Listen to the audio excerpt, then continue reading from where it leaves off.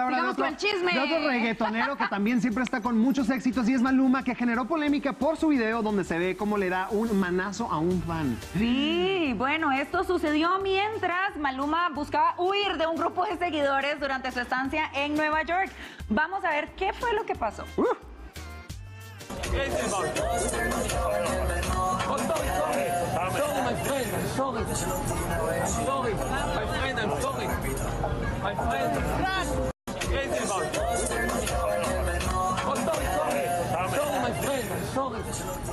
Ay, pues el video se viralizó, tuvo miles de comentarios que calificaron a Maluma como soberbio y exagerado por su reacción. ¿Tú qué hubieras hecho? Yo creo que cuando alguien te toma tan fuerte, obviamente la reacción natural de uno es como, hey, suéltenme, ¿verdad? Pero bueno, Maluma compartió un video en el que se justifica y vamos a ver qué fue justamente lo que él dijo.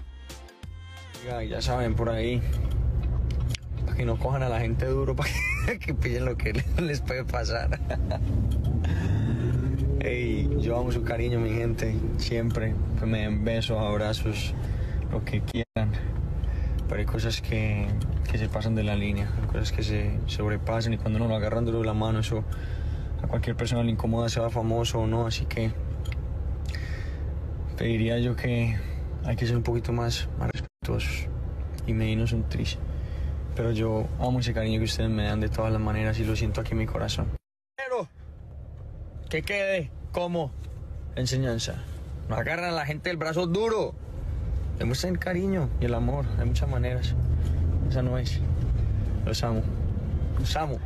Ay, no, pues yo cada quien. no sé, sí, o sea, yo no creo que sea un tema de humildad, porque de verdad que cualquier persona te agarre así en la calle despierta un sentimiento de supervivencia. Y aparte, o sea, vacunados punto. o no, seguimos en pandemia. También hay que tener un poquito más de respeto y pues no andar toqueteando a la Pero gente así. claramente, al ser una figura pública, hay que tener muchísimo más cuidado con el tipo de reacciones que uno tiene. Así Claro. que bueno, ya le queda para enseñanza a los fans y a Maluma para la próxima saber cómo reaccionar en este tipo de momentos. Claro, y pues obviamente fue porque pues bueno, muchos esperaban que el colombiano se disculpara con el fan, lo cual no lo hizo y No pues sucedió. bueno, no pasa nada, no, pues ya pasó.